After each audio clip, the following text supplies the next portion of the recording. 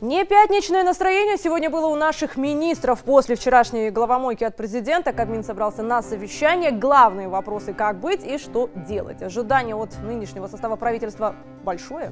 У общества и у главы государства. Как ни крути, команда Токаева, да, мы об этом уже говорили. Так вот, Кабмину нужен план действий. В мире кризис, мы, конечно же, все это чувствуем, а вдобавок в стране до сих пор, начиная с января, проходит внутренний аудит. Куда ни ткни, везде есть интересы небольшой группы экс-привилегированных. В общем, нынешнему правительству и правда не позавидуешь, работы не початый край, но и казахстанцы не могут молча наблюдать за тем, как жить становится все сложнее и сложнее.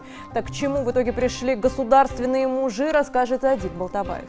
Уважаемые коллеги, премьер-министр разговаривает с главой государства, будет небольшая задержка. С такого объявления началось внеплановое заседание правительства, которое экстренно собрали после разноса накануне. Видимо, сегодня президент дополнил список поручений. Вот только ощущение, что грядут кардинальные перемены в работе Кабмина, так и не сложилось. Казалось, что министры собрались только чтобы повторить, что ошибки свои признали и готовы их исправлять.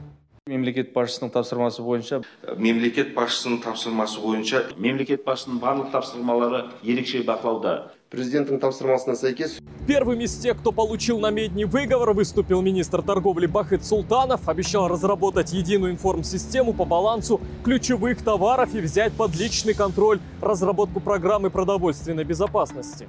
өндірушілердің ішкі нарықты толық Упор будет сделан на скорейшее возникновение конкретных и продуктивных производителей. Особое внимание будет уделено формированию самодостаточной отрасли производства и переработки сахарной свеклы и сахара. Настрой Султанова подхватил глава Минсельхоза Карашукеев. Рассказал о планах построить сахарные заводы и расширить посевные площади.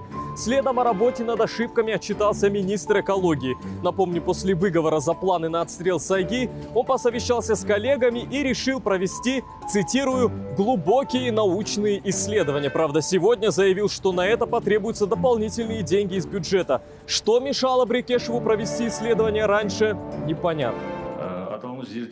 До проведения вышеуказанных исследований необходимо рассмотреть вопрос компенсации сельхозтоваропроизводителям ущерба, наносимого по травой диких животных, в том числе по разработке методики расчета ущерба и механизма финансирования.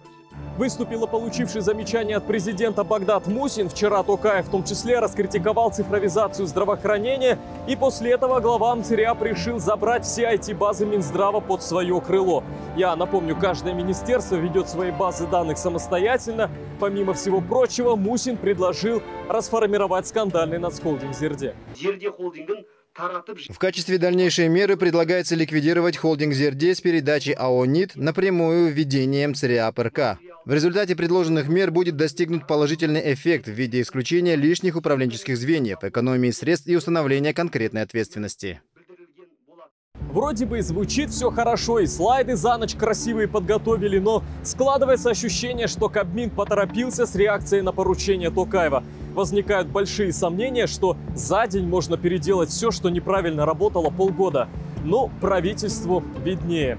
Главное бы государственным мужам не забывать, что обещанное придется исполнять. Адиль Балтабаев, Санат Имангали, Ермек Махметов и Нурсултан Саулет. Студия 7.